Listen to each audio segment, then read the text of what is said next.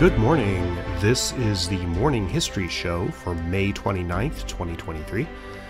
I'm Dr. Sean Munger. I'm a historian, author, podcaster, and teacher. Uh, and I have a YouTube channel, obviously, here. Uh, I teach history courses online and in person. Today's stories involve an ancient Egyptian mummy workshop. A very, very interesting account of the links between medieval Ireland and Constantinople, Byzantine Empire and also on the theme of Constantinople, some thoughts on the anniversary of the fall of the city to the Ottoman Turks. Today is that anniversary. So, thanks to those who've listened so far. This show is still in its experimental early phase. This is the most fragile part of a podcast's life cycle. Still trying to find the footing and exactly what we're doing and how it's working and that kind of thing. But I do thank everyone who's listened so far. I featured the podcast. There's an article on my blog, The Garden of Memory. That's gardenofmemory.net. It's kind of my main blog these days. So I did focus uh, a, an article on it. And also, thanks very much to the folks on Mastodon who are spreading the link for the show. So thanks very much. Okay, so our first story for today this is being reported in many, many places. The government of Egypt announced new discoveries of ancient Egyptian artifacts and structures at the Saqqara necropolis. This is the former Egyptian, ancient Egyptian capital of Memphis. And they said that they found two embalming workshops where mummies were prepared for burial, both human and animal mummies, and apparently some animal mummies have also been found. These workshops were complete with stone beds where the corpses were laid out uh, to be prepared to be to be mummified. And they said they also found two tombs of priests. So the mummy workshops date from the 30th dynasty, and that's fairly late in ancient Egyptian history.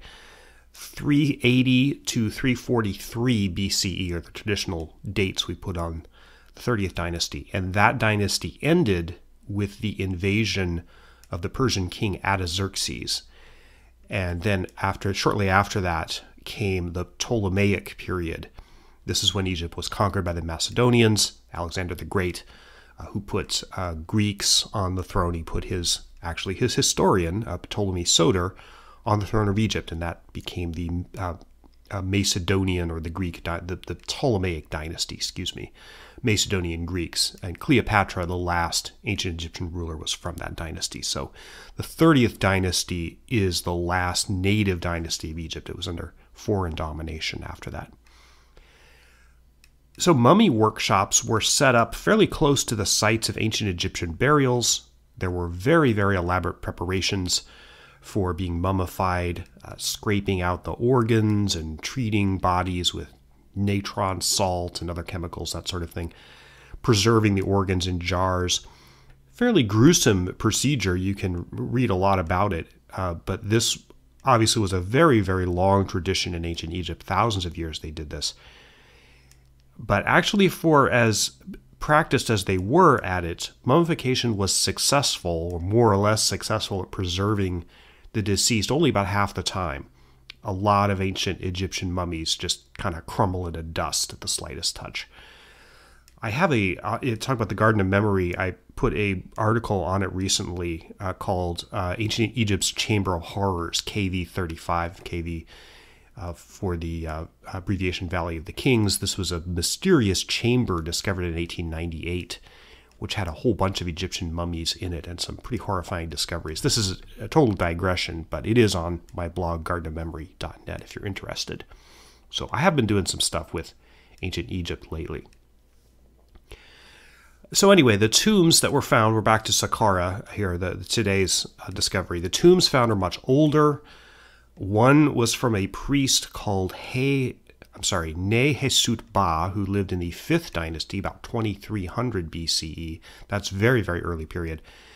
And the other was a priest called Menkaber from about the 14th century BCE. So we've got a kind of a patchwork of discoveries here. There's been a lot of discoveries in Saqqara in recent years. The modern government of Egypt is fairly desperate to revive tourism as a major sector of their economy This is following, it was depressed following the 2011 Arab Spring and then again during the COVID pandemic. So they're trying to recover from that. And they've been sending teams of archaeologists to old sites to try to find new, new discoveries. And some in the archaeology community have criticized this practice, accusing the government of moving too fast and, and just kind of uh, trying to grab press headlines like this one uh, to boost tourism without really doing the the the you know real deep work to preserve these sites the way they should be preserved. Uh, it is true Egypt wants to boost. Uh, I saw some numbers that they want to boost their tourist influx by 25 to 30 percent a year, which is a staggering number. And for decades, there's been criticism of Egypt's attitude toward tourism. Large numbers of tourists tend to degrade ancient sites Tutankhamun's tomb, for example, the number one tourist attraction, is degrading rapidly, mainly because of the huge numbers of people coming to see it. But on the other hand, this criticism is sort of paternalistic. It's kind of rooted in kind of, you know, Western powers telling non-Western powers what to do with their own heritage. These are Egypt's sites and artifacts, and it can boost, you know, if it can boost their economy, I absolutely see the argument for doing that. You know, use it to the hilt if they can. But definitely from this story, you can tell that there's a publicity strategy here because I found this story on numerous news sites. It originated with press releases from the Egyptian government. Uh, the one, the specific story that I link in the description is from Al Jazeera. And I chose that one because it includes a lot of photos of what they uncovered, and they're pretty interesting. So if you want to see those, go to the link in the description and you'll see some pretty, pretty cool stuff. All right, so second story is really interesting, and it comes from an outfit called the Impartial Reporter, which is an Irish publication, and it's an article by a writer and blogger Barney Devine, uh, or Devine, uh, D E V I N E. It's not news exactly, but it's a story about the connections between medieval Ireland and the Byzantine Empire. Specifically, Devine is writing about an ancient uh, or medieval manuscript called the Annals of Ulster, which is one of the most important sources that we have about medieval Ireland. This is a huge wealth of historical data. It's a chronicle of Irish history from the year 431 to the year 1540, so it's obviously just a staggering amount of information. And Devine was uh, went to the Chronicle, the Annals of Ulster, looking for references to Byzantium. He says he was he was going to Constantinople and visited the walls, for example. Uh, but he he went looking for references to Byzantium in the Chronicle, and there are some. So, for example, there's a line in the Annals of Ulster, and it says, "quote 720 A.D. Theodore reigned one year." End quote. Now, this refers to the emperor more commonly known as Theodosius III the date is not exactly precise because we think Theodosius reigned from 715 to 717, just before the Great Saracen invasion, um, right when Leo III came to the throne. That's I know a lot about that period because of the novel I wrote 11 years ago now called Zombies of Byzantium, which takes place at the backdrop of that event. So it's out of print, unfortunately. Anyway, um, another much earlier reference to Byzantium is in the Annals of Ulster. It's from 448, and it says, quote, several walls of the imperial city of Constantinople had been freshly rebuilt with masonry, and 57 towers collapsed as a result of a violent earthquake which prevailed in various places. End quote. So recall, this is being written in Northern Ireland in the Middle Ages. And the point is that its demonstration of how cosmopolitan medieval Europe was. There was commerce and social intercourse going on all the time. References to what's happening in the Eastern Roman Empire, that's Byzantium, is part of the view of the world that's being recorded by bishops in Ulster. And, and that really is kind of a fascinating thing. Contact between the British Isles and Byzantium was not unknown, and thus Ireland and Byzantium were connected too, obviously.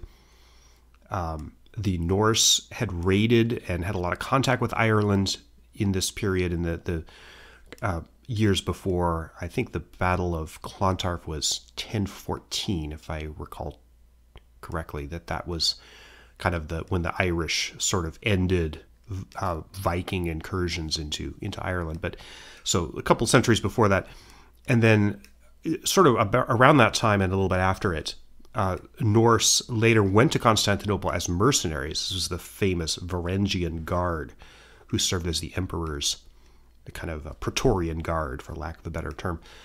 A Devine references this, and he, in fact, he he talks about the famous graffiti in Hagia Sophia in Istanbul, written in Norse runes by one of these guards. I would love to see that. I've never been to Turkey, but I would love to see that. So I make this point to my medieval history students all the time, my seventh graders. The world of the Middle Ages was interconnected, not isolated. And this is why I emphasize the Silk Road so much in, uh, in my teaching. Apparently, the last reference to Byzantine emperors in the annals of Ulster is around the year 800. There's nothing after that.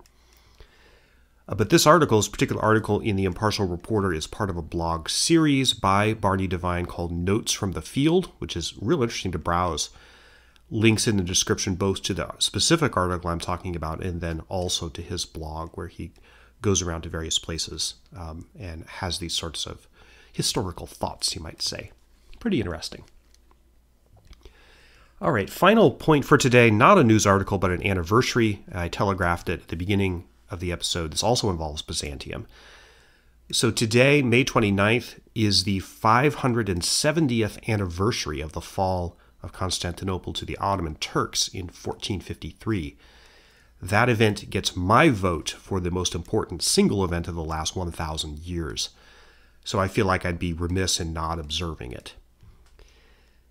The Byzantine Empire was on its last legs by 1453. Uh, it had been sacked in 1204 by the Western Crusaders. That was during the Fourth Crusade. And Constantinople, the richest city in the world at that time, had been looted mercilessly during that conflict. Uh, Byzantine rule was restored in the Latins, as, as it was called, the Latin Empire, ruled uh, a little bit during the 1200s, and then Byzantine rule restored in 1261 by the Paleologus dynasty. But the empire was much smaller, much, much poorer, and much weaker in that late period, the Paleologian period. Their great enemy was the rising Ottoman Empire, which had its sights on Constantinople. So, after numerous sieges by various Ottoman sultans, they tried over and over again to reduce Constantinople. It was finally Mehmet II, he was only 21 at the time, who finally brought it off. Uh, he laid siege to Constantinople for 55 days in the spring of 1453, beginning April 6th. The Byzantine emperor was at that time Constantine the 11th Paleologus. And really, at that time, the whole empire was down to the city of Constantinople and a few other non contiguous little pieces, such as what they called the Morea, which is now in the modern nation of Greece. Mistra was the, uh, the big area there. And Constantinople had actually been depopulated. People talk about it at that time that there were, you know, buildings surrounded by huge tracts of, of fallow, you know, former farmland because uh, most of the population had left. So even inside the walls, uh, there was really not much going on. Anyway, uh, the final assault, the, the story of the siege is is epic, uh, but the final assault got going about 1.30 in the morning on May 29th, a Tuesday.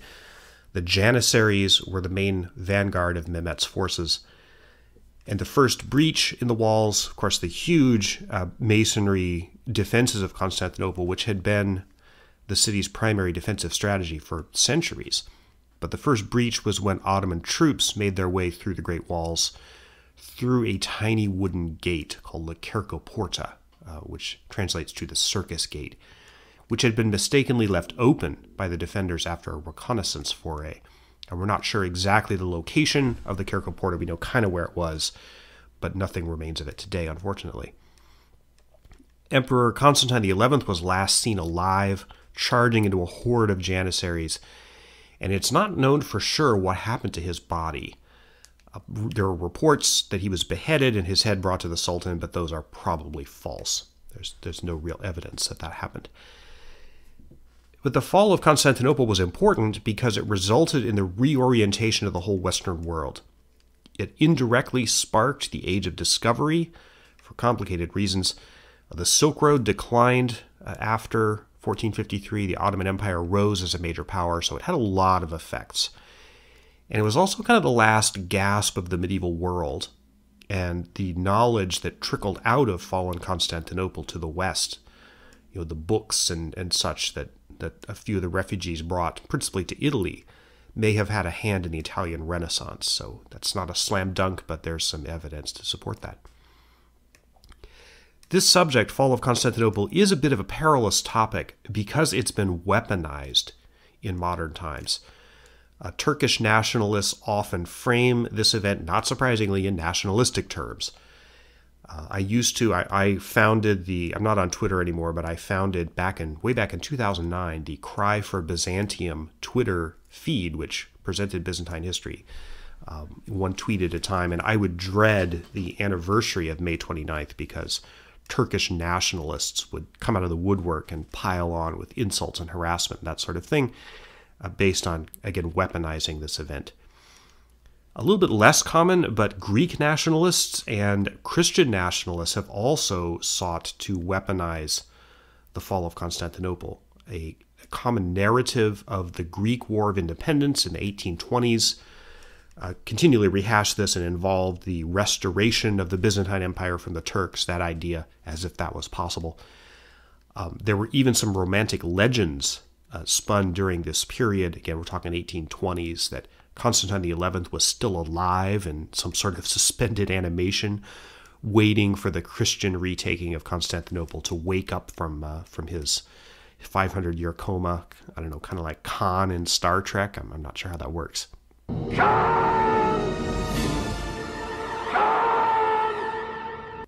Anyway, I, I, do not have a nationalistic take on the fall of Constantinople, uh, but it's an event that has long interested me, and it is super important in world history. Uh, the best recent book on the subject, most readable recent book, is Roger Crowley's 2005 book, simply titled 1453, which I highly recommend.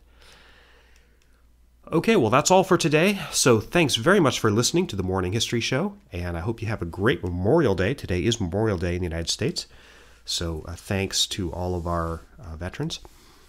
Uh, and please tell uh, friends about this show if you like it, and uh, we'll come back to it uh, sometime soon. So we'll have more for you in a couple days. Thanks very much.